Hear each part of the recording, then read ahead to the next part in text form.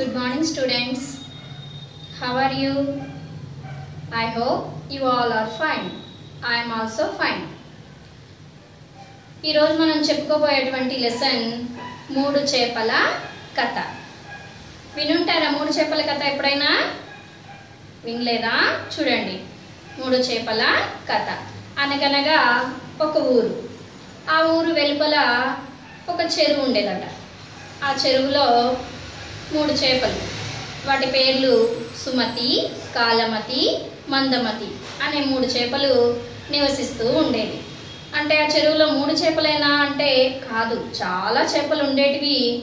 వాటిల్లో ఈ మూడు చేపలు బాగా స్నేహంగా ఉండేవి అయితే ఇలా మూడు మూడు చేపలు చాలా కాలం నుంచి స్నేహంగా కలిసిమెలిసి ఆ చెరువు అంతా తిరుగుతూ ఉండేవి.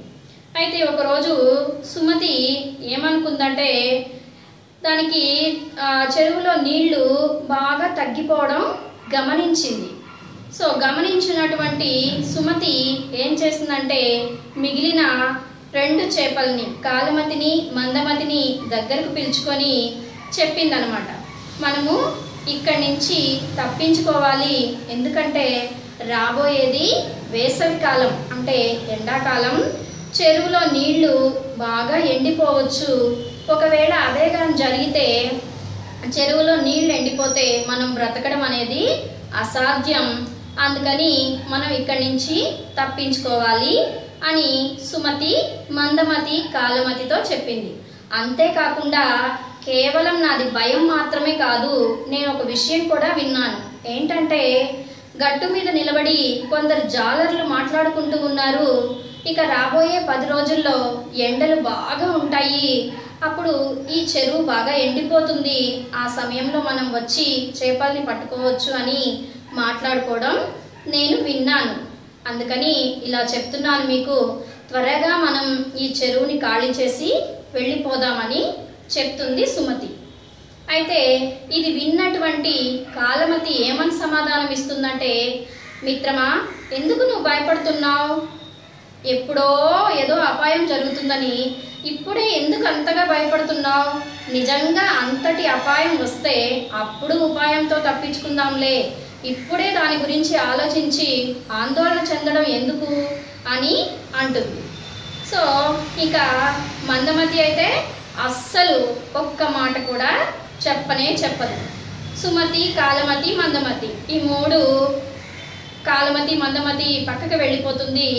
సుమతి మాత్రం అయ్యో ఫ్రెండ్స్ నేను చెప్పిన మాట వినకుండా వీళ్ళు ఎవరి పాటికి వాళ్ళు వెళ్ళిపోయారే అని బాధపడుతుంది.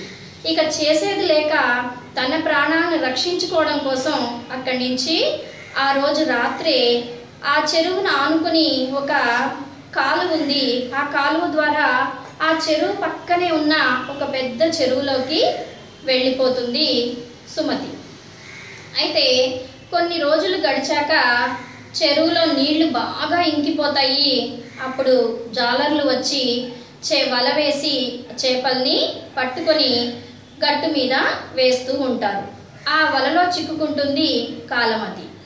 చిక్కుకున్నటువంటి కాలమతి అయ్యో నేను అపాయంలో పడిపోయానే నా స్నేహితుడు చెప్పాడు కదా సుమతి ఇక్కడి నుంచి వెళ్ళిపోవాలి. లేకపోతే మనకి ముప్పు తప్పదు అని. ఆ రోజు చెప్పిన విషయాన్ని నేను పట్టించుకోలేదు. కనుక ఈరోజు అపాయంలో చిక్కుకున్నాను అని బాధపడుతుంది.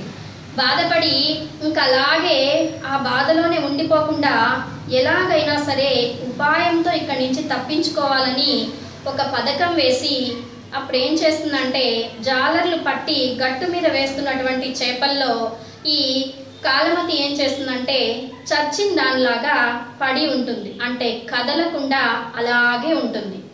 అప్పుడు జాలర్లు ఓ ఇది చనిపోయింది కదా ఇది ఎక్కడికి కదలదులే అనుకుని వాళ్ళ పని వాళ్ళు చేసుకుంటూ ఉంటారు. అప్పుడు ఏం చేస్తుందంటే కాలమతి మెల్లగా ఆ చెరువులోకి వెళ్ళిపోయి దాని నుంచి కాలువ ద్వారా ఆ పెద్ద చెరువులోకి వెళ్ళిపోతుంది.